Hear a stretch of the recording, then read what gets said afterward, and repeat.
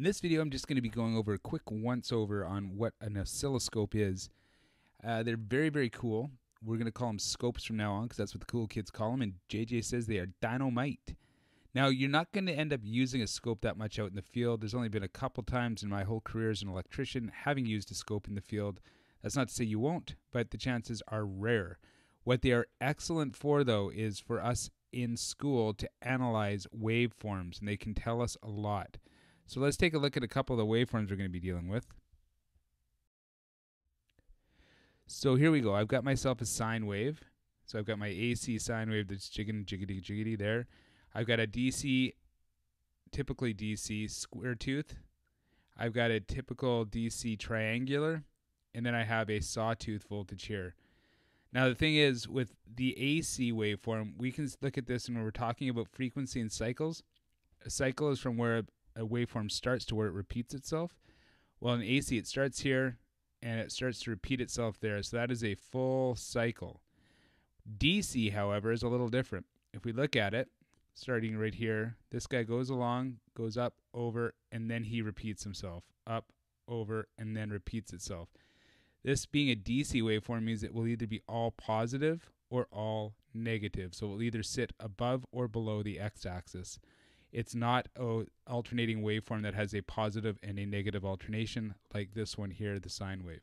Same thing goes for this triangular. It's going to start here, and that is a cycle there, and that is a cycle there. That's important when we get to frequencies. Same thing with the sawtooth. Starts here, begins to repeat itself, and away we go. So that is our DC waveforms. Now there's a lot to an oscilloscope, which I'm going to let you guys go through in the notes that I'm attaching to this. But let's talk a little bit about the probes here. And it's not these kind of probes that we're thinking about here. We're going to be talking about these probes here. So these probes are what we use to attach to the circuit. They are made out of a coaxial cable. That would be important to know because what they take care of is stray voltages. So, and we want to clean up our sine wave. When we're looking at sine waves, they want to look nice and clean. And sometimes the induced voltage around can dirty that waveform up. So what the coaxial cable does is it's shielded and it gets rid of all the unwanted noise so that we get as crisp and clear a waveform as we possibly can. Now when we connect these probes, we have two channels. We have channel 1 and channel 2. And again, just like your TV, it's a coax connection there. This means we can read two different waveforms, which is very useful when we get to AC because we can start looking at what happens when we have inductive circuits and capacitive circuits, which I'm not going to get too much into right now. You can watch the videos on capacitance and inductance on your own. But we have two channels here. Sometimes they're called channel A and B, but we're going to call them channel 1 and channel 2. Now we have this thing here, the volts per division. We'll talk about that. It has a lot to do with this little fella right here, the screen.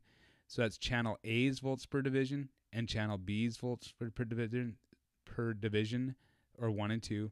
And then we have our time per division. So that helps us determine what the period is. And then from period, we can determine frequency. Now, when it comes to calibrating the probes, generally what we do is we send them out. But on some oscilloscopes, there'll be a calibration knob.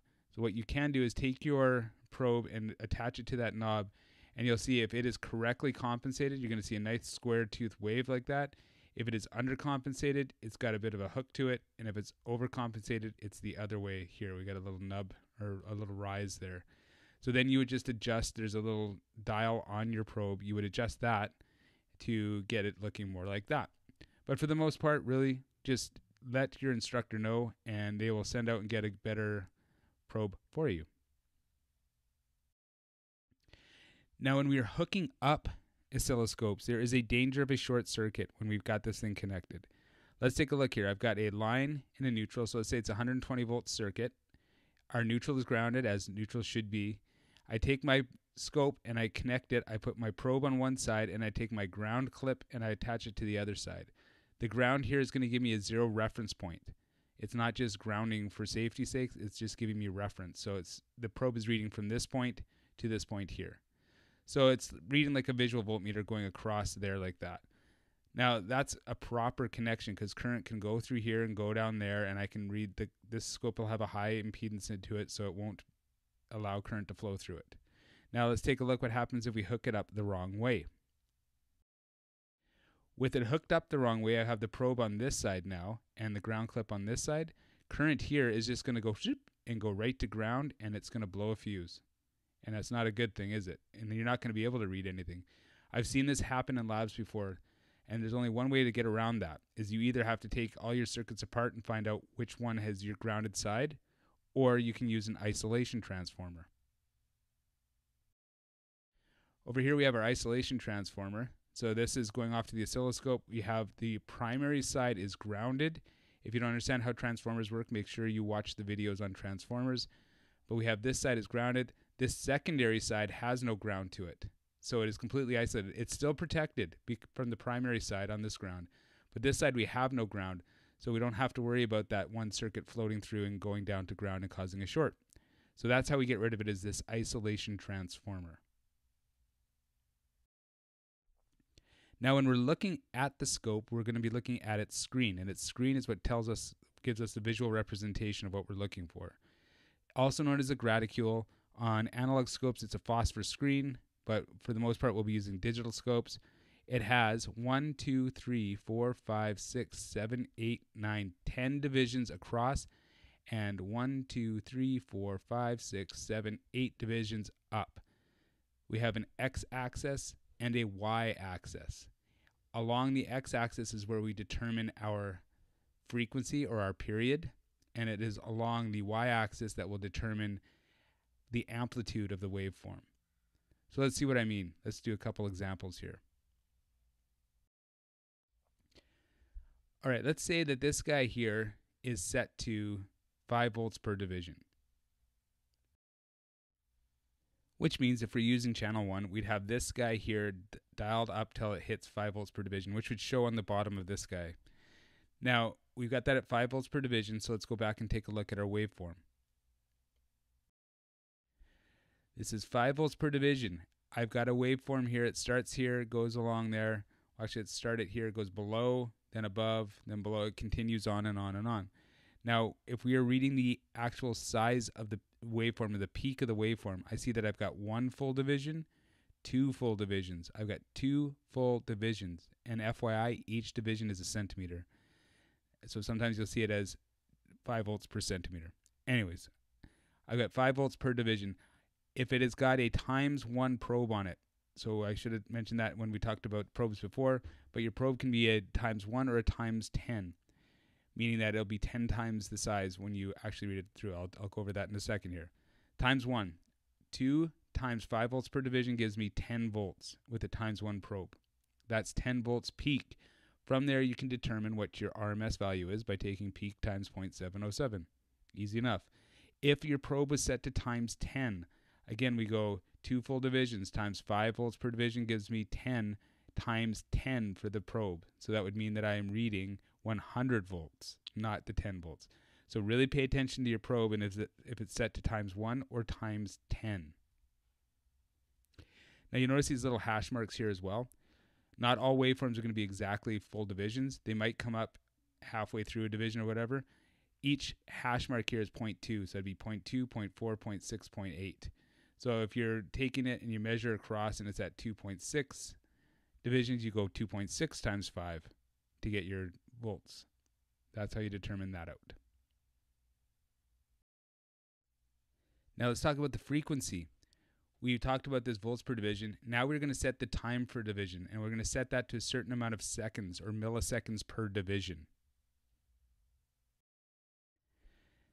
Now let's look back at here. We already determined that this guy with the times one probe, we're looking at 10 volts peak.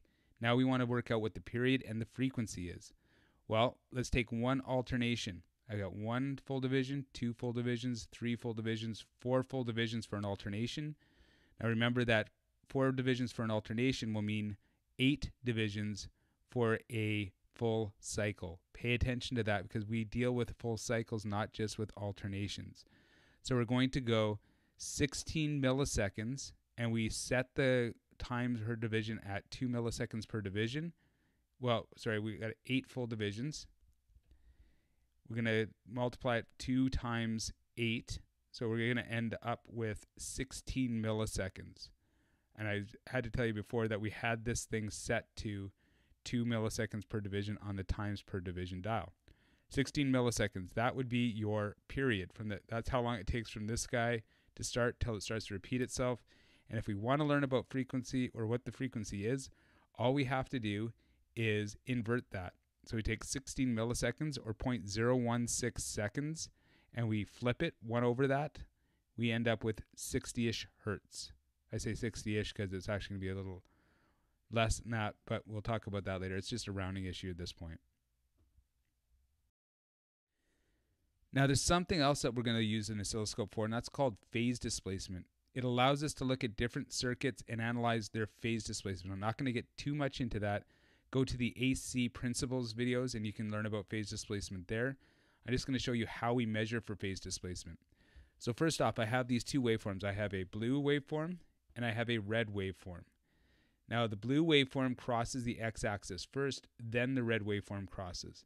So in this case, I will say that blue leads red. All right. Now we're going to also figure out by how many degrees does blue lead, lead red. So I look at this and I say, okay, one, two, three, four, five, six, seven, eight, nine, ten divisions. Sorry, nine divisions. Is that right? Yes. One, two, three, four, five, six, seven, eight, nine divisions for an alternation.